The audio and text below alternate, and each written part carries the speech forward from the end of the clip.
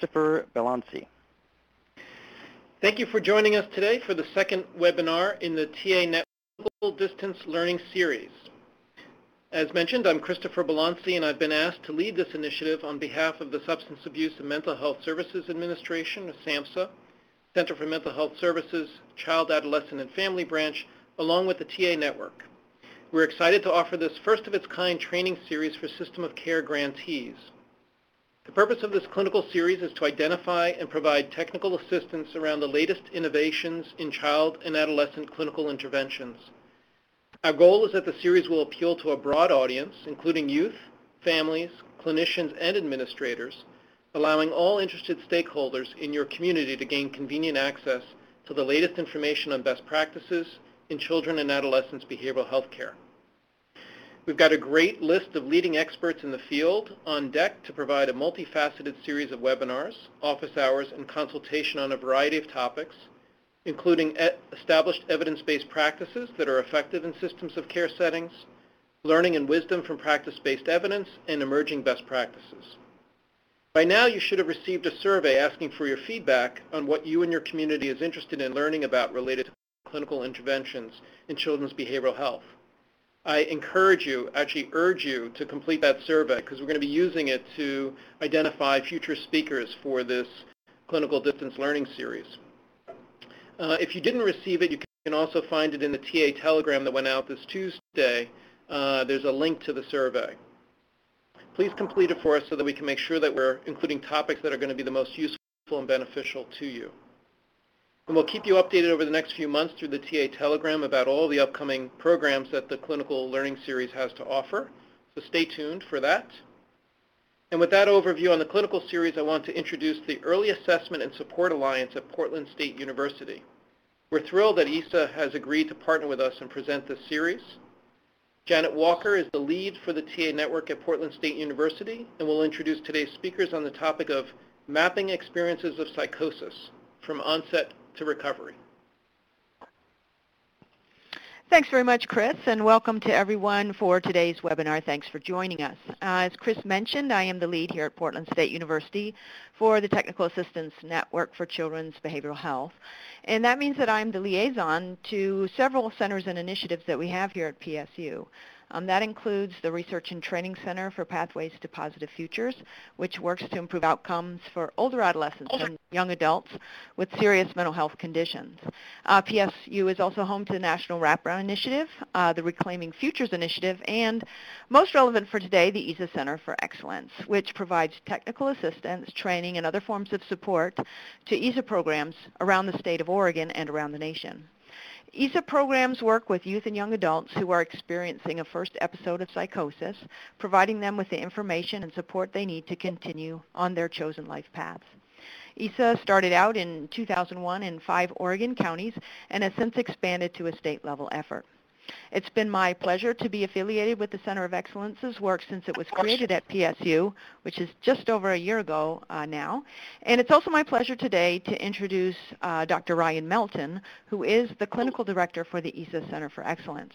Ryan has been working with EASA since uh, it got started and has a wealth of clinical experience with particular focus on early psychosis, uh, practice, training, and research. So with that, I would like to turn it over to Ryan uh, to continue with the webinar. Thanks.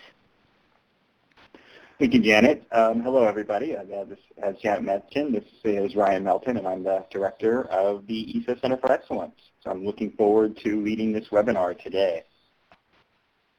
Um, so just a reminder that there will be a follow-up call to this webinar on September 23rd from 2 to 3.30 Eastern Time, 11 to 12.30 Pacific Standard Time. I hope to use that time to really get into detail of the specific questions that you may have from, from this webinar. And then a follow-up reminder is that we'll, uh, the third webinar in this series, Transforming Systems of Care for Early Psychosis, a step-by-step -step approach uh, presented by Tamara Sale, Dr. Dixon, and Dr. Jones will occur on September 30th with a follow-up call on October 6th. So I hope to have you all there as well. That is me. As, I, as Janet mentioned, I'm director of clinical director of the Early Assessment Support Alliance Center for Excellence at Portland State University's Regional Research Institute. but that's not really why you came on here today. What about me? I'm actually interested in who you are. And was there a poll? Yes, okay, good. So if we could take a moment and do a quick vote so I could learn who you are, um, that will help kind of guide the content of, or at least how I talk about the content of my presentation today. Like magic, think about it.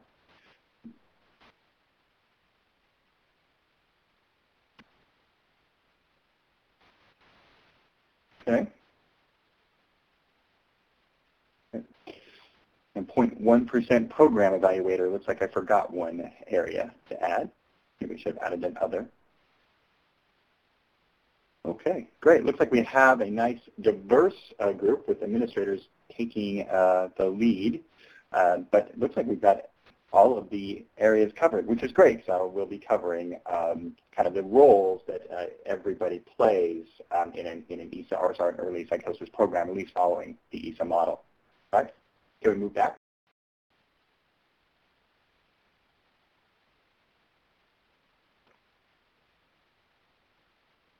Okay, so what we'll be covering today is we'll be talking about early psychosis intervention, specifically how EASA in Oregon um, does early psychosis intervention work. Um, as part of the presentation, I'll be talking about the recognition and diagnosis of psychosis risk syndromes and actual psychosis.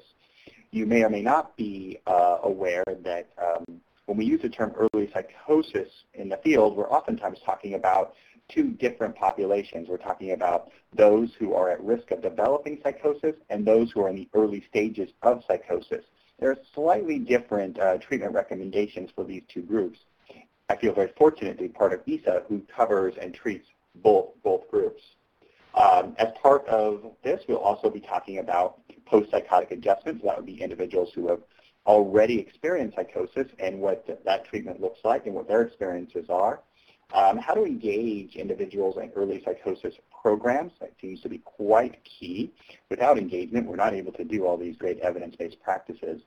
And then I'll get into some detail around, around those best practices with early psychosis individuals, including crisis work, cognitive behavioral therapy, motivational interviewing, multifamily psychoeducation, and the list there. And how I plan to talk about each of these areas today is by using a series of videos from the experts who um, have worked in these specific practices. And then I think I will end with um, how to transition from early psychosis services. So what is EASA? I think uh, Janet did a nice job describing what EASA does. Um, I just want to add that I think we're more than just an early psychosis program, and we really pride ourselves in integrating the voice and strengths of our participants and our, and our families. Um, throughout this webinar, you'll see a series of artwork. All the artwork on, in this webinar series was done by participants or graduates of the EASA program. You also see a series of quotes in this webinar, and those quotes are direct quotes from uh, EASA participants. I'll start um, off uh, with, a, with a quote from, uh, or actually a mission statement from our Young Adult Leadership Council. Our Young Adult Leadership Council is made up of graduates and participants of the EASA program, and their job is to kind of guide us and direct us on what kind of is good practice and how we can continue continue to have kind of culturally appropriate services for adolescents and young adults who are experiencing early psychosis. So their quote is uniting the voices and strengths of young adults and their allies to create a thriving community and a revolution of hope. I think it's a great quote that really sums up EASA. Um, we are part of the social sphere, trying to be a culturally appropriate uh, program for young adults. So uh, please, when you have a moment, check out our website, a great uh, list of resources. Please follow us on Facebook. We're just under 800 likes right now, and I'd like to see us get up to 800 likes um, around this webinar.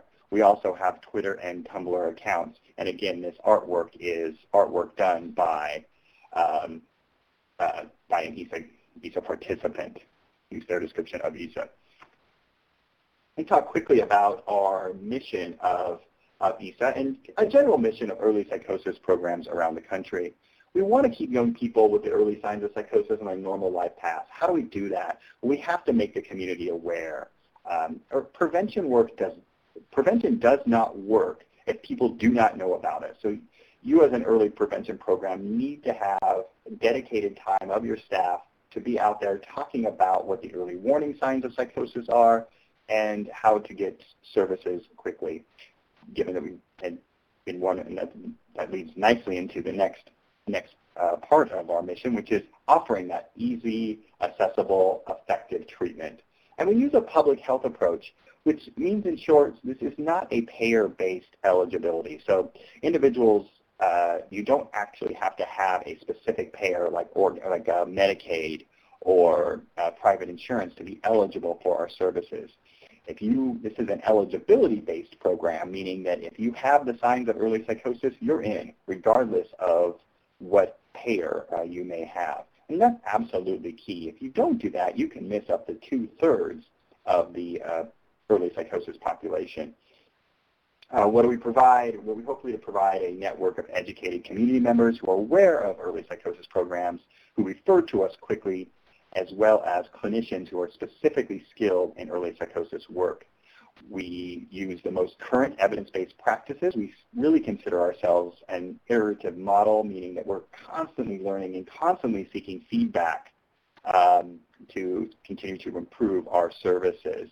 So basically, we've taken a lot of the evidence-based practices and tried to make them culturally sensitive to this particular population. Uh, or this is the makeup of a early psychosis team, specifically an EASA team. I use the term transdisciplinary. I'll talk more about that in a second. So, I mean, the team should consist of leadership. This is absolutely key. If you don't have good leadership, the programs just don't work. We've actually even written in our practice guidelines directions that administrators should follow to kind of lead uh, an early psychosis program. More of that will be talked about in webinar number three. Should have some type of team leader um, this might be a person that does the initial screening, the initial assessments um, for eligibility for your early psychosis program. We need a we have a prescriber, we have nurses, we have clinical social workers, counselors, psychologists who do most of the clinical work. We've integrated supported employment and supported education. We've inter also integrated occupational therapy. In addition to this map, we've really started to integrate peer supports, and that's, that's new for us. So more about that in, in future webinars. Um, the, the model, if there is a clinical model that we follow in EASA, it's a FACT model, which stands for Family Aided Assertive Community Treatment, which basically takes um, elements of the ACT, assertive community, of the ACT model, assertive community treatment, and the family psychoeducation model, and puts them together. So it's not a, they're not full fidelity on either of those models, but it integrates elements of, of those models. But here's what it looks like. It definitely looks like proactive outreach. So you're going to meet, following the key element of ACT, which is you're going to meet the client or the participant in whatever environment that they're comfortable. This may not necessarily be an office-based intervention. And you're going to meet with the family or the primary supports of that, of that individual. Sometimes you're going to meet with them even though the client isn't quite ready for service or their illness limits their insight into service. Um, and that, what that might look like is then you're doing crisis planning with the family. Um, and this, this avoids that really unfortunate uh, scenario that currently happens in mental health where someone has to be dangerous or have some life-threatening emergency before, before we can intervene. We at EASA, we want to intervene before that. And so that might mean just meeting with the family and doing crisis planning or, or advocacy or really looking, trying to find a way to get in to engage, uh, engage the individual in services. We do transdisciplinary treatment planning. Um, that means what that looks like, again, is a very small caseload. Uh, it's a 1 to 10 uh, ratio, and that's, that's, sorry, there's a typo that should read across the team. So it's a 1 to 10 ratio across the team, not across the time. Uh, um, there's a fixed point of screening. That means that there's somebody whose role on the team is to screen for eligibility for the early psychosis program, a definite flexible service delivery model, again, meeting clients wherever, getting very creative in your engagement efforts, basically sometimes bending those standard mental health rules to really engage people in services. Um, and this is a team that meets very frequently, at least weekly, if not twice weekly, to talk about every individual. Uh, you should have 24-7 availability, and what that can look like is integration with your crisis system. An example of that would be that your crisis system has detailed information on an individual's crisis plans. So even if your team isn't available 24-7, you're well integrated into your, your local crisis system. This is a quote from a, an EASA participant. I was, I think, highlighting that it's different for everyone. Everybody has their own ways to express themselves, letting that be a way to segue into different ways that EASA can provide services. If someone would have told me about OT or art therapy, I would have said, okay, I'll give it a try. If they have told me about counseling, I would have said, get out of here, which means in some ways our traditional mental health service approach is still kind of holds a stigmatizing approach. So we, we need to kind of be very flexible in how we introduce services to, to people. And the FACT model allows for that. Some of you might be wondering about the term transdisciplinary versus multidisciplinary and interdisciplinary. This was developed by Bruder in 1994. The difference between transdisciplinary and a multidisciplinary team, and multidisciplinary by definition just means multiple disciplines working on at, the same individual. Transdisciplinary is multiple disciplines working with the same individual who have a very shared treatment plan, and oftentimes you'll share roles and cross cross-professional boundaries. It doesn't mean that a social worker may be prescribing, but it does mean that a social worker, counselor, psychologist may have really good information on side effects and maybe talking to clients about that. It also might mean that your support employment uh, specialist might do a little bit of case management. It's basically get, get the need done and share responsibility across the team. So it, it means there's a continuous give and take. There's a common treatment goal. And what this usually results in is less contact with the person overall by individual team members, but more contact as a team. So it's really looking at this as a very much a team approach, that there isn't just a lead EASA or lead early psychosis clinician, that any clinician across the team could kind of act as lead, but really the team is the lead. Okay, let's start getting into uh, the assessment phase. How do we recognize psychosis? How do we recognize those who are eligible for EASA services? One thing to, uh, of course, recognize is that psychosis in and of itself is common. And that you know psychosis may exist in about three out of 100 individuals or so. But schizophrenia is, is quite rare, uh, with an incidence, incident rate about 1 in 10,000.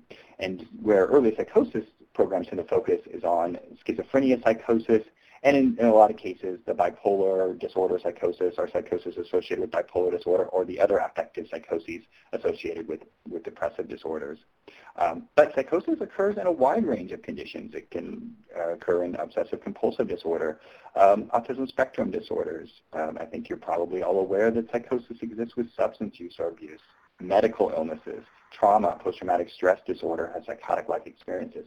Part of our role as early psychosis programs is to really help ferret that out early so we can and, get accurate diagnoses so again we then can offer accurate and the most appropriate form of treatment.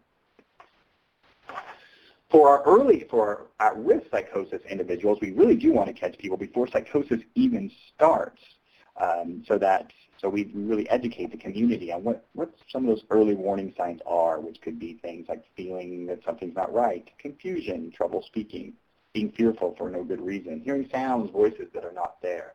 And, and you'll look at these symptoms and you'll think, well, that kind of sounds like your typical adolescent. Um, true, but we'll also be looking at changes, you know, several of these changes um, that are also uh, that are also resulting in functional decline would result in a good referral referral to EASA or an early psychosis program. The idea is that psychosis occurs on a spectrum. Let's take three common psychotic symptoms like grandiosity, suspiciousness, or auditory hallucinations. At the lowest level, uh, let's take grandiosity, a young person may talk about wanting to enjoy basketball, and although maybe an average basketball uh, player, thinks they're going to attend a Division One college on a, on a full on a full scholarship. That in and of itself, not psychosis, and may in some ways be part of the normal spectrum. But as psychosis moves, if we get to the full range of, of psychosis, that's when the, the youth or young person is headed to New York City because he believes he's talented enough to join the join the Knicks, and, and in fact that, that he's not. Where EASA and early psychosis programs really want to try to catch people is right in the middle of, of each of these spectrums. Um, we don't want, we definitely don't want to over uh, overdiagnose and catch people early, you know, when there really isn't a, a, a problem, but we, we try to prevent from hitting that full psychosis. So one way we do that is using the psychosis risk syndrome scale or the structured interview for psychosis risk uh, syndromes, which Barbara Walsh will be talking to you about in just one second or so, a few seconds. Here's a series of questions that we would be asked uh, using the SIPS. Um, the SIPS then will measure ratings on each of these uh, psychotic symptoms. And then other areas that we pay attention to in addition to just the presence of pre-psychotic symptoms is significant deterioration in functioning. Uh, you know, so this unexplained decrease in work or school performance, this inability to concentrate as well, decrease in personal hygiene, um, reduction in stress tolerance. And then a big one we, we look for is kind of individuals for no good reason or no explainable reason, at least that we're aware of, that they're withdrawing from their, from their normal community. So each of these uh, uh, positive symptoms is rated on a 0 to 6 scale, 0 being it's not there at all, 6 being severe and psychotic. Um, if you score in the 3, 4, 5 area, we consider that at psychosis risk. Obviously, a 6 would be someone who is already past that psychotic uh, threshold. And really the big difference between a 5 and a 6, um, in short, is, is is insight or the ability to really talk about their symptoms as maybe a condition or that the symptoms are guiding their behavior in a way that's potentially harmful.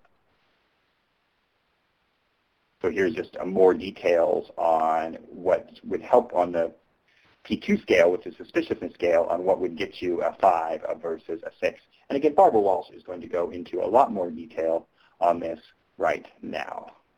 So Adam, if you could load up Barbara's video.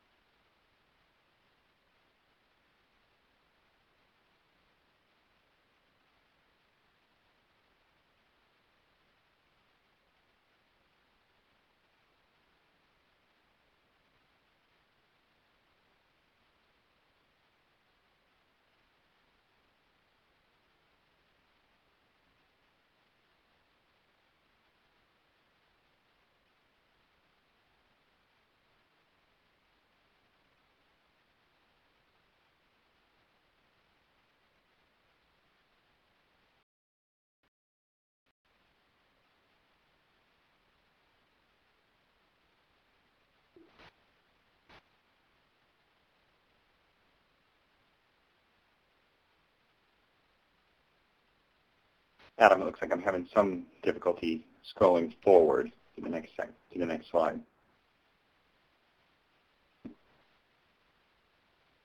And I've got this gray uh, over my screen, so I can't. It's hard for me to read.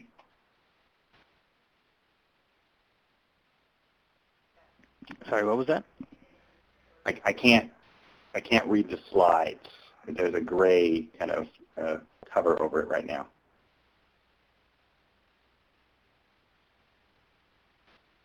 And I have a box that reads no matching videos.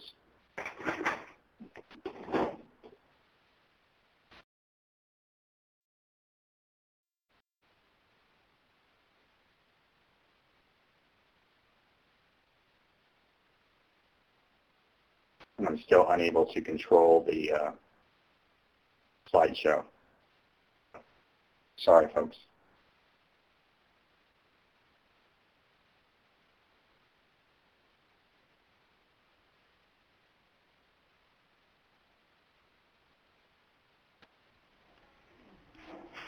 Okay. Um, Okay, looks like we're, we're up and going again.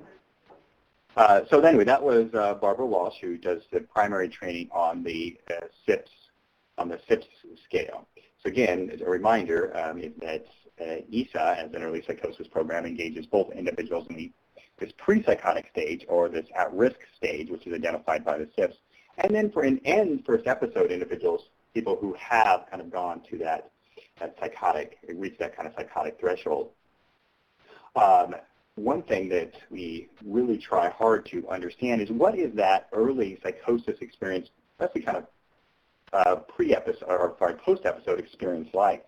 One of our partners in understanding that is Dr. Mary Moeller, who wrote this article. So I'm giving her some plug for this particular article. This article was written uh, based on experiences of of EASA of EASA participants.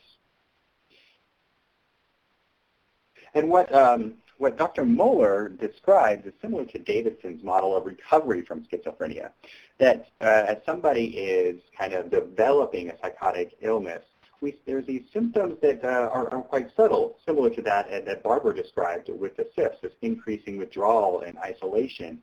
And there's these internal experiences like with, that uh, consist of demoralization and despair, all of it kind of, and, and, cognitive intrusions and disruptions, all of it kind of resulting in this decline in functioning.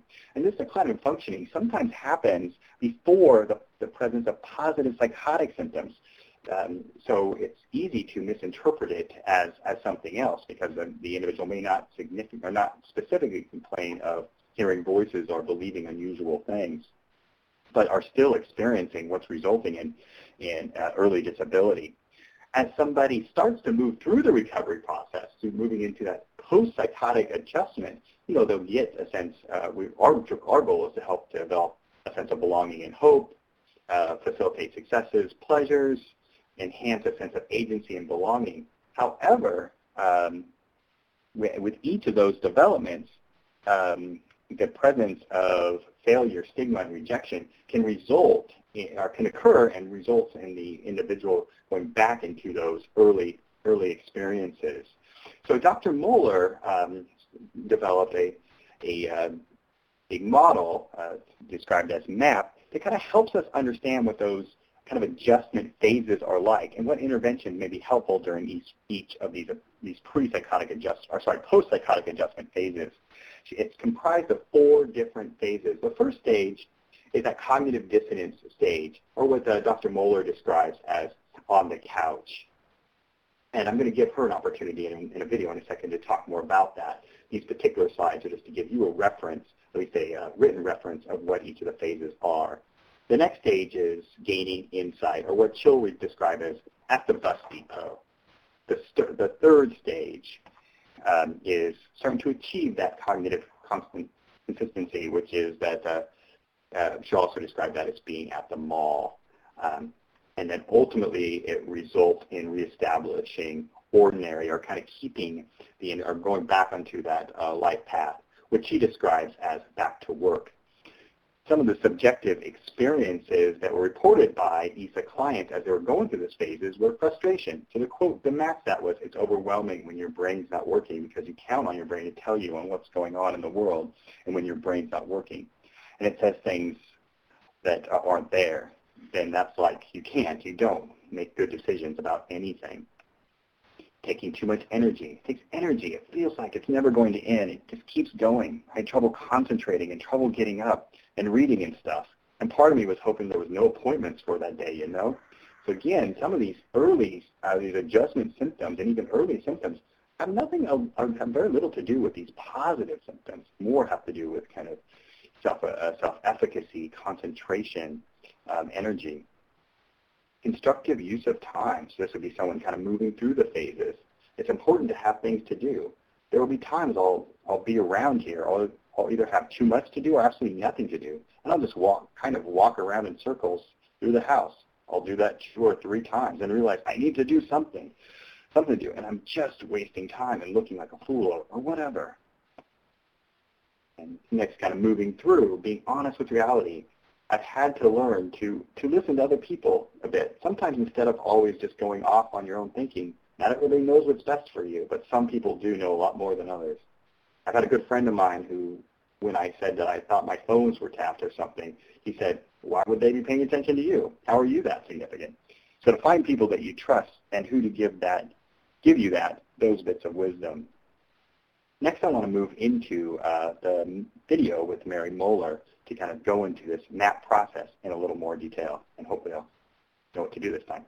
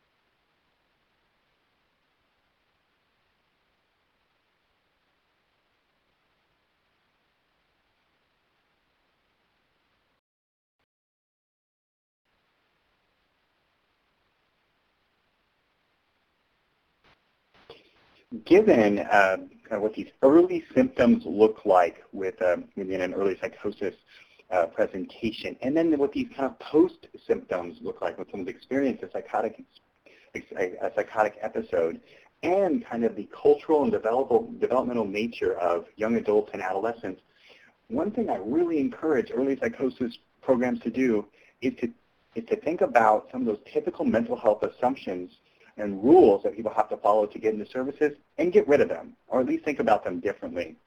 Like here's some of the rules that I think we need to change. We, we need to change this idea that people need to be 100% compliant with meds and 100% abstinent from illicit drugs. Remember, this is a, these are symptoms in which or that are they're treated by medications that cause significant side effects.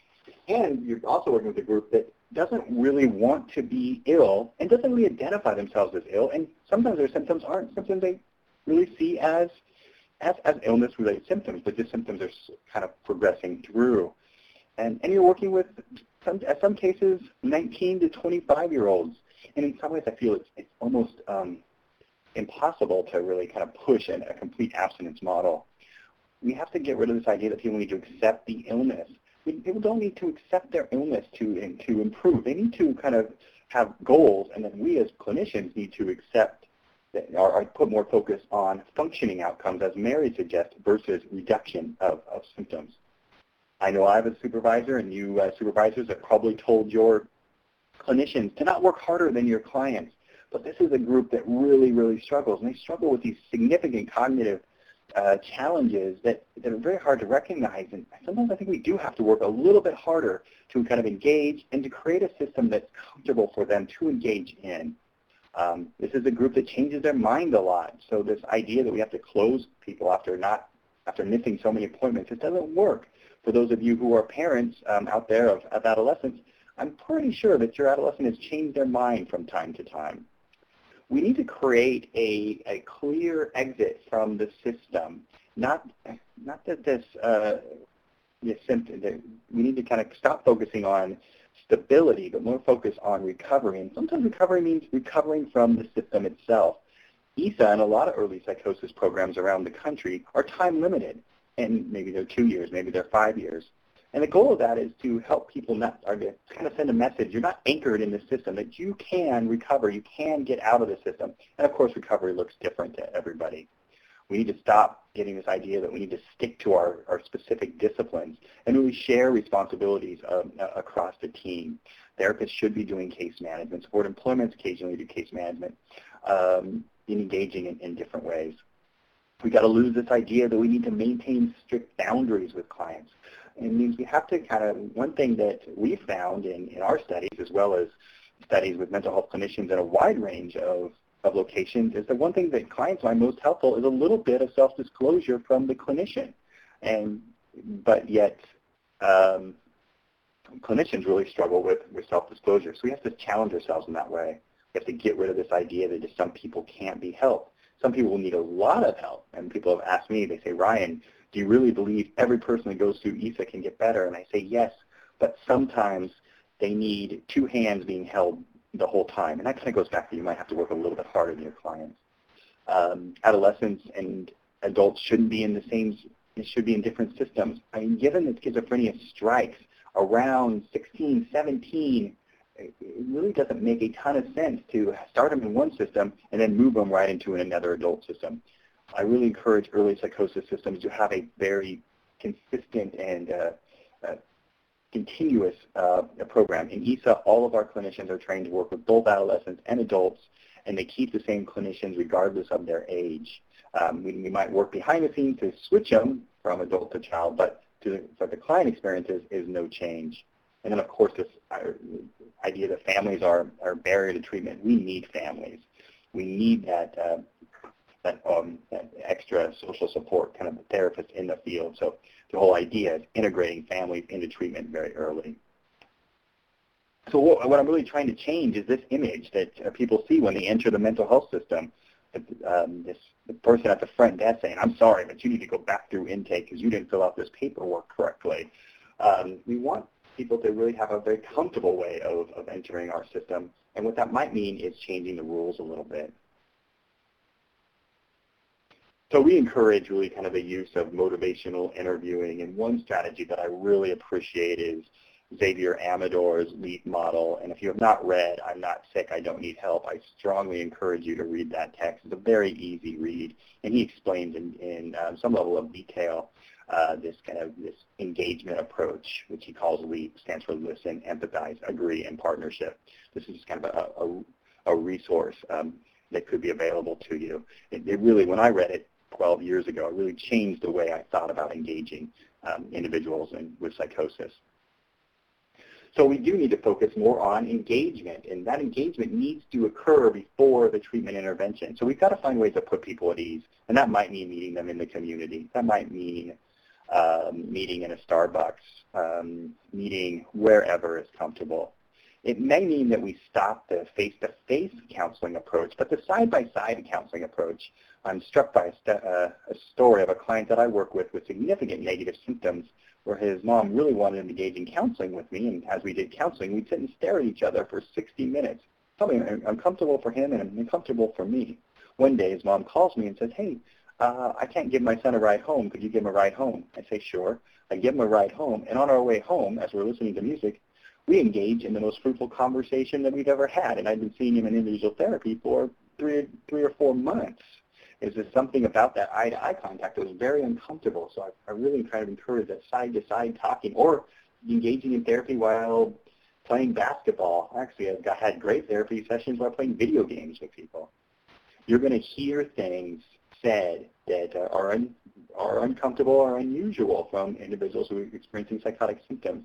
It's, I think, one one challenge that we have is that we try to engage in the righting reflex, which is say, oh, this is part of your mental illness, and that's, that's a symptom.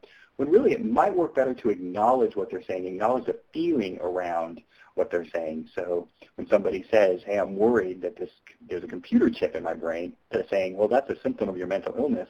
Perhaps saying something like, that's got to be really scary to have a computer chip in your brain. Tell me about how that got there. So always try to be flexible, active, helpful. Spend time socializing. Remember that one of these early symptoms is social withdrawal.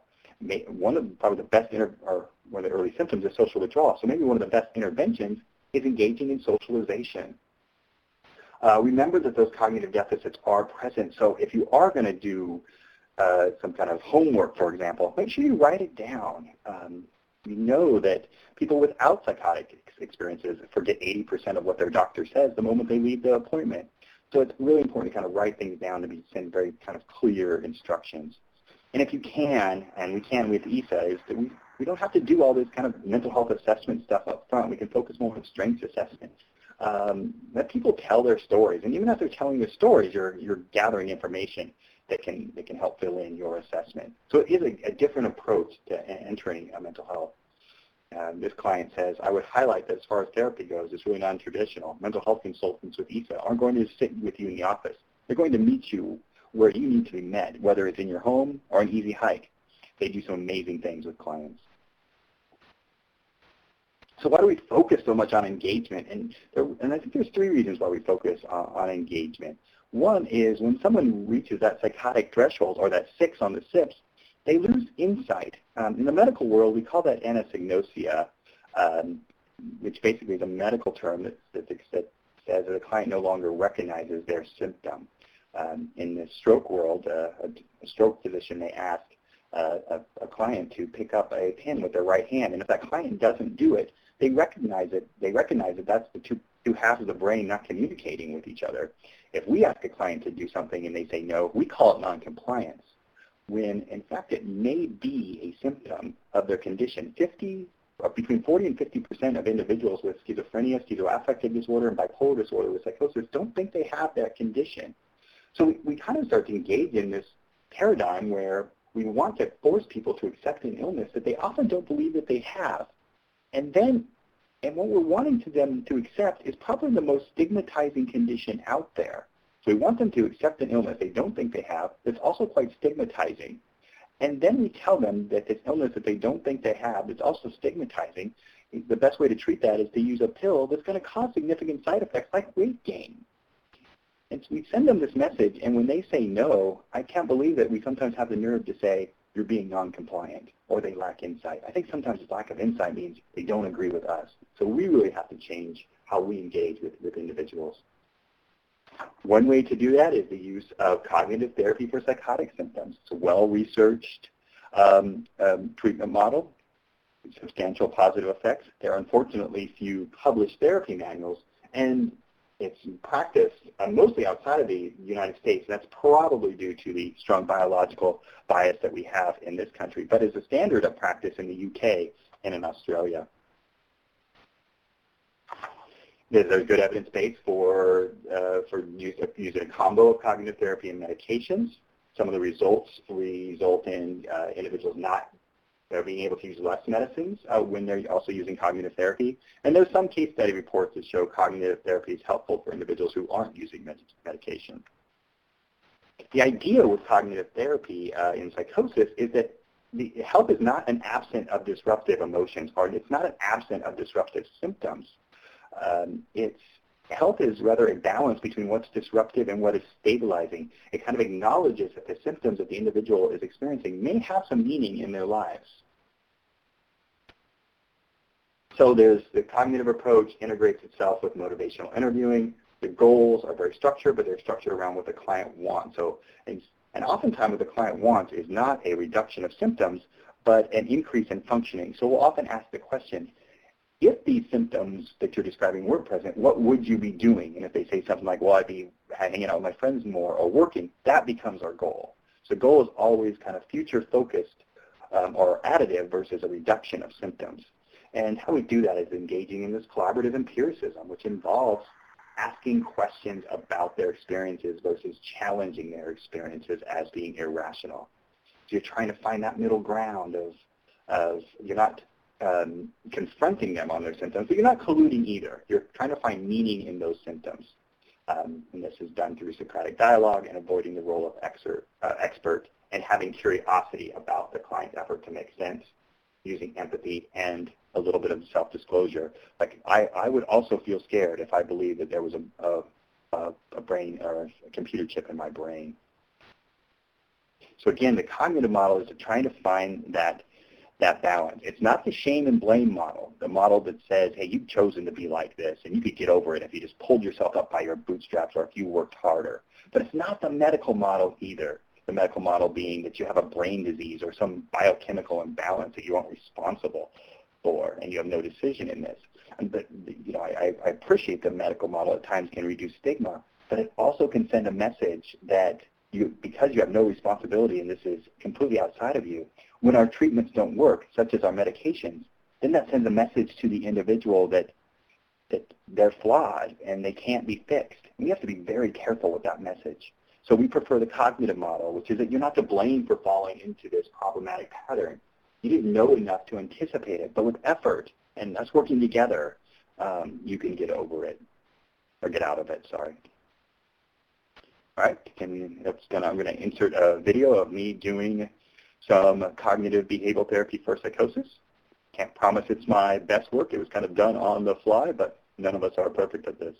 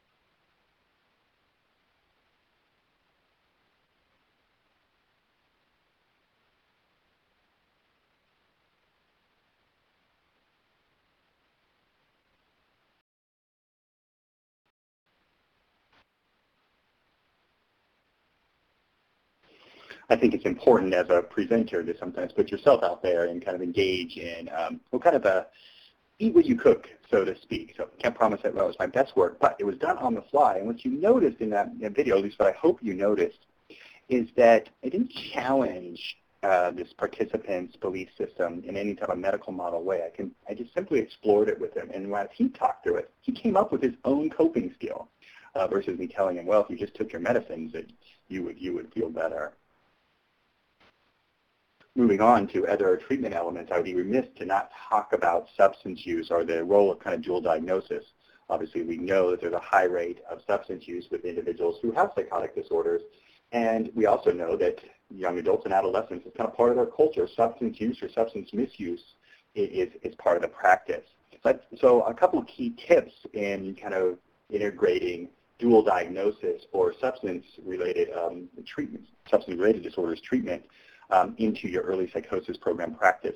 You have to remember you're working with adolescents and young adults, and that sometimes use is kind of part of that. And you have to probably separate what would be considered normal developmental use uh, versus um, actual substance use disorder, um, and not completely overreacting to if a 21-year-old goes out and gets drunk on on, the, on their birthday. Um, we also want to kind of pay attention to that marijuana is becoming much more frequently used, and I know in the state of Oregon it's likely to be legal um, in the next year or so. So we're going to have to be kind of talking about that um, in a different way than, than we have before. I know um, some of our clinicians, when uh, our clients are using marijuana and they're claiming it's part of their medicine, we have a kind of pretty loose um, med medical marijuana laws here here in Oregon. We say, okay, well, if it's a medicine, let's then monitor symptoms versus kind of shaming them um, for, for using the substance or giving them a whole bunch of warning about it. Saying, okay, well, if it's a medicine, let's see if it actually works. Let's monitor symptoms in the same way that we would monitor if you were taking an antipsychotic medication. Other things to pay attention to, you have to ask yourself, is it really a dual diagnosis? Is this, or is that their drug use really causing their symptoms? And that comes at assessment. We really want to get treatment right. So we want to be careful not to mislabel what's really a substance-induced psychotic disorder as a major mental illness like schizophrenia or bipolar disorder. The treatment looks very different we have to be a little careful with overusing the term clients are using for self-medication. There isn't actually a lot of research to support the, the self-medication hypothesis. So you want to think about it how the dual diagnosis model thinks about it, which is people generally use to reduce discomfort, but not necessarily as a, a self-medication thing. They're not necessarily using it to treat an illness. They might use it to help sleep but most of the studies suggest that people generally use, particularly young people, generally use when they're in good moods. So working with the individual and normalizing in some ways their use, what you were using because you were nervous about going to that party versus you were using to reduce your anxiety disorder. A much kind of different message. But of course, either way, inter integrate substance use um, disorders uh, treatment into your, your treatment program. Use a harm reduction approach, motivational interviewing. And the other thing is reverse rehabilitation. Don't put up barriers uh, for people when they're when they're using. You know, so don't tell them that they're not ready to go to work or not ready to engage in other forms of treatment until they're sober. Not a lot of research to support that that form of model either. We've actually found that when we support people going to work, even though they're using, they actually stop, reduce their use because they're doing something that takes up their time. I mean, I think you read, if you think back to that quote earlier, I mean, when you have nothing to do, sometimes um, using is, is, is something. I'm going to uh, enter a, have you watch a video now that kind of demonstrates kind of the mistakes that we make when kind of working with substances. I apologize for the gender, gender stereotypes that, that occur uh, in, in this video.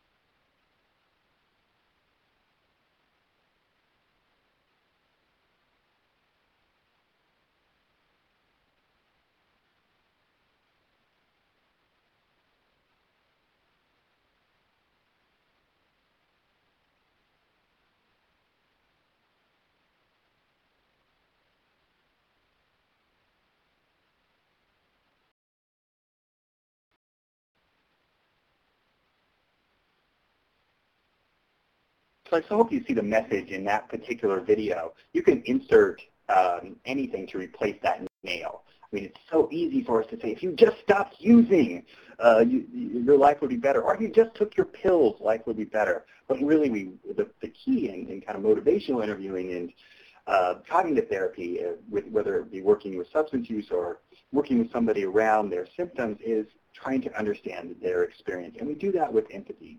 And rationale um, emerges out of that empathy and, and dialogue versus um, our direct intervention. I mean, if we could just tell people to stop, our jobs would be a whole lot easier. Uh, moving on, uh, kind of another key element in early psychosis work is the idea of relapse uh, prevention. Um, and relapse prevention involves helping clients kind of identify these early triggers and past relapses and warning signs of an impending relapse. Now, relapse means different things to different clients, so it's important as you're working with clients to identify what they specifically define as a relapse. Um, one thing we, we, encourage in our fidelity is that every client has some form of relapse prevention plan. And of course, those would be clients that are now kind of engaged in your in your therapeutic process. So clients learn how to develop these plans to prevent relapse.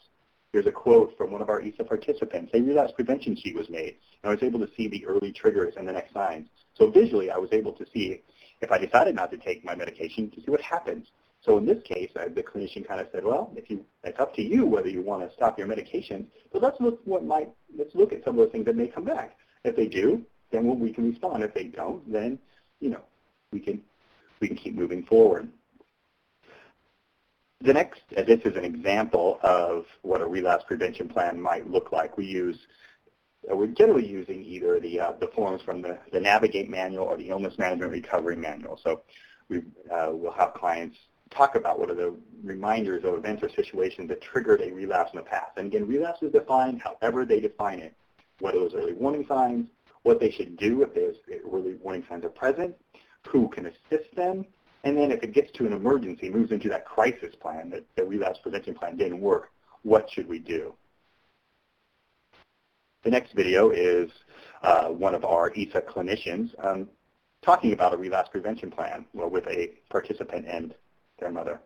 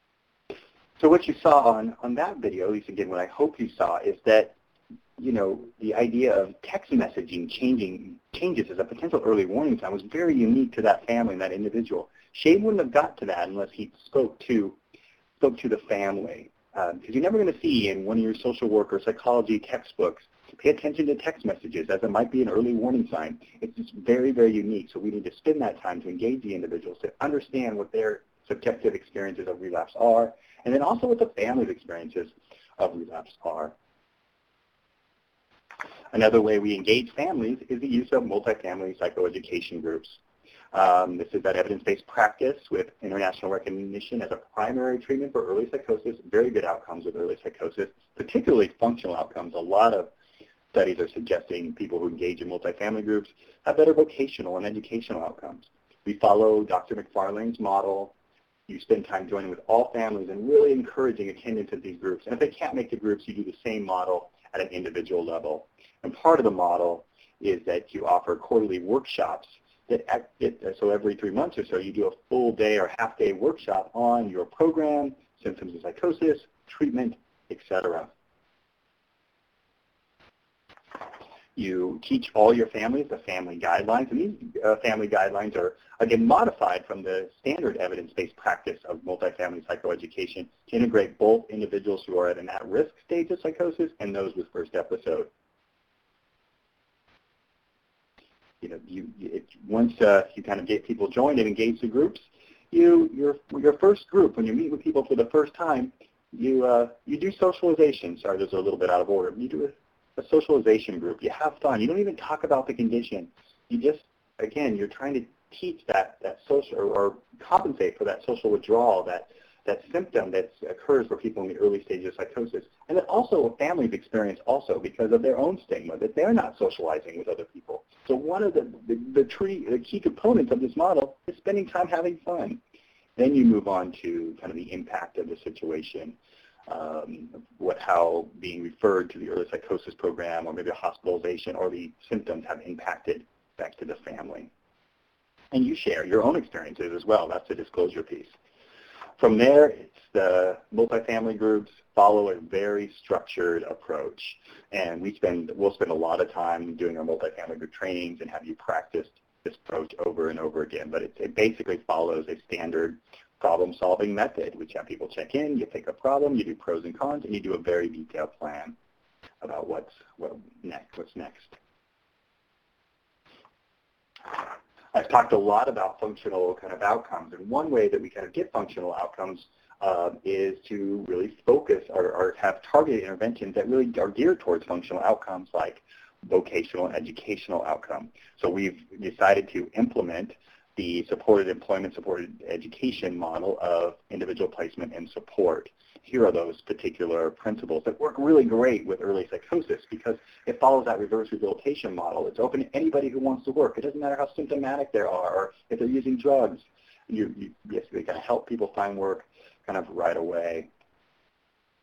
Some ways to augment or kind of modify IPS for early psychosis means you're going to offer more help with educational goals, not just vocational goals. You keep clients open um, in this system, even though because goals change. So if they say, I don't want to work right now, you'd still keep them open. You wouldn't close them because, as you know, young people's mind change quite a bit. You engage the support employment person kind of follows that transdisciplinary approach that allows them to kind of do other practices like lead multifamily groups, given that multifamily group in combination with support employment gets very good vocational outcomes, better than support employment alone. And of course, using youth-friendly modes of communication, um, meaning that you don't have to go to an employer as you're implementing this model and say, hey, I'm working with someone with mental illness. You can say, hey, I'm working with a young person who's trying to get their first job. It's a much different message. Both are, both are true. Um, and so, and oftentimes young people don't want to disclose about uh, disclose their illness, and oftentimes are stigmatized by even the titles of our vocational services. We've had many clients in our early psychosis program say they didn't want to go to vocational rehabilitation because of the term rehabilitation, and they didn't want to use the disability services office at their local college because of the term disability. So we really have to be cognizant and aware of that. Some studies on IPS outcomes. One thing we're not doing as good of a job is kind of educational outcomes, no difference from the control, but a big difference from the control when it was IPS versus kind of standard um, uh, vocational practices for early psychosis. We're going to hear Gary Bond, uh, who's one of the founders of IPS, tell us a little bit more about this model.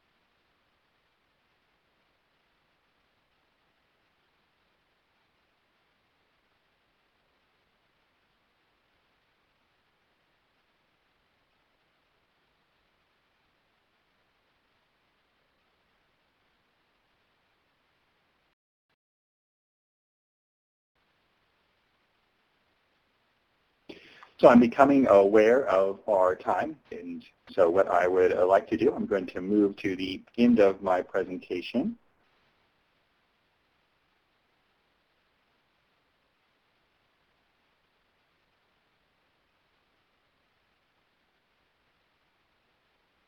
Okay.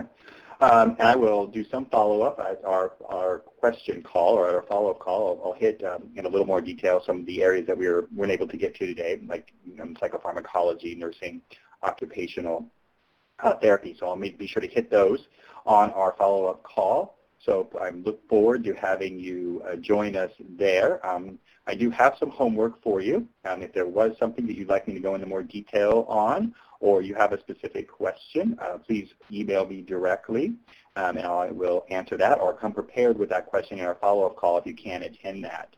Um, I would like you to follow us on one of our social networks and post a comment. Um, tell, tell, uh, ask a question. Let, let me know what more information um, that you need. Um, if you have a moment, I'd also like you to watch this particular YouTube video linked here. And tell me, uh, you know, watch the video and, and, tell me what skills were used to help in the situation and how do those skills and traits relate to early psychosis intervention work. And of course, provide me with feedback on the presentation, whether that be kind of some of, around the technical difficulties we have or, or, you know, other information that would be more helpful to you. Um, you can access, we will have this uh, webinar available on our website, so you can access it there or share it with your team there. We'll also be providing handouts, tip sheets, and the full video links will be posted over time on our, on our website. I want to give a special thanks to my clinical research assistant, Ellie Taylor. She made a lot of this presentation come together, organized the videos. She's currently interning with an EASA program. She'll be graduating soon and would be an awesome employee if you are looking for one in your early psychosis program. So there's a link to her LinkedIn page. Uh, you will not go wrong with uh, hiring Ellie. So special thanks to Ellie for helping me put this all together. And this is how you can reach me. And again, feel free to contact me, direct me directly via my email if you um, have some uh, direct follow-up follow-up questions. Um, if you have a cell phone with a QR scan, you can scan the QR, read a scan right now, and that will take you right to our website. Um, again, I look forward to the follow-up call and going into a little bit more detail and answering your specific questions. I really appreciate um, your time.